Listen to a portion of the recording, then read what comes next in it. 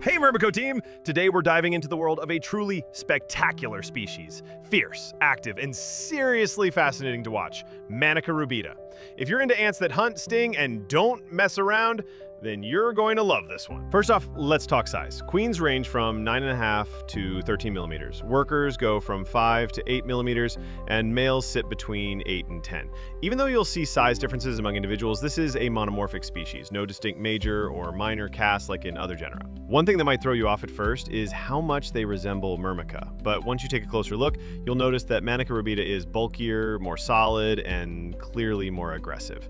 They've got a reddish body tone, a darker gaster, sometimes almost black, and their whole body is covered with long, fine hairs. The exoskeleton is beautifully sculpted, and a key detail, no spines on the propodeum. Oh, oh, did I mention they've got a functional stinger and they're not shy about using it, whether it's for hunting or defending the nest. And yes, the sting is painful. I'm talking from experience. The queen looks very similar to the workers, just a bit larger, and sometimes you might come across microgynes, which are smaller than average queens. The males are either black or very dark brown, pretty classic in appearance, but easy to spot during nuptial flights. In the wild, they're mostly found at higher altitudes, between 900 and 2,000 meters, in open areas like alpine meadows, forest edges, riverbanks, gravel patches, basically sunny and open environments. They typically nest under stones or directly in the soil, sometimes forming little mounds. And yes, some colonies are polygamous, meaning they can have multiple nest entrances. Colony size, we're talking several thousand individuals. Now behavior-wise, these ants are absolutely thrilling. They're fast, highly aggressive, and love to hunt. They'll go after live prey, use their sting to paralyze it, and the larvae will often feed directly on the body. It's wild to see.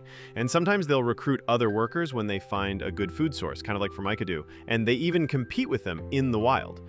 Colonies are usually monogyne, but polygyne cases have been observed. Interestingly, a queen can re-enter an existing nest, which is pretty rare. But here's the tricky part. The founding process is semi-claustral and independent. That means the queen needs to hunt and be fed right from the start. Small insects, sugary liquids, the works. Otherwise, the foundation fails. As for temperature, Manica rubida is quite sensitive. Their sweet spot is between 20 and 23 degrees Celsius, and they don't like overheating. And don't skip the diapause. It's absolutely mandatory. You'll need to give them 3 to 4 months at 5 to 10 degrees Celsius. No exceptions. This rest period is key to their biological rhythm. Their development cycle is endogenous and heterodynamic, meaning they go through distinct active and resting phases. For the setup, start with a test tube with some sandy substrate. They appreciate that. Add a mini outworld right away so you can feed the queen. As the colony grows, move them into a nest with high humidity. They thrive in 60 to 80% humidity, so make sure you keep the nest moist. Dry setups won't work well. Avoid overly porous or fast-drying materials. Diet-wise, they're omnivores, but with a strong preference for fresh insects. Offer them live or freshly killed prey. They'll go for it instantly. Of course, sugary liquids are still part of the menu, but their predatory side is really what makes them so fun to raise.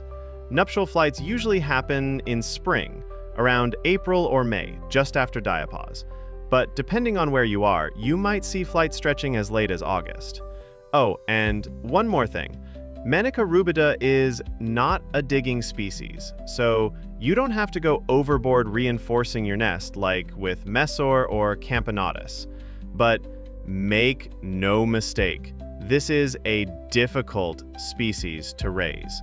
The founding phase is delicate, the temperature range is narrow, and the diapause must be taken seriously definitely a species for experienced keepers. But if you get it right, you'll have one of the most dynamic, aggressive, and stunning colonies in your collection.